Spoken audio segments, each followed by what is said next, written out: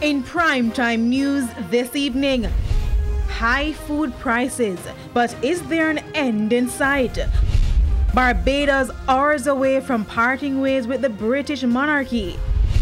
And JUTC workers back on the job after protest action this morning.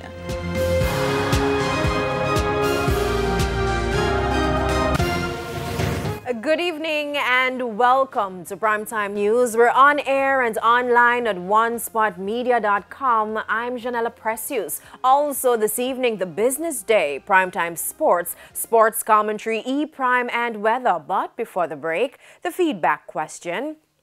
And this evening, we're asking, what are your thoughts on Barbados becoming a republic at midnight? You can share comments online, facebook.com slash television Jamaica and tweet us at television jam 1.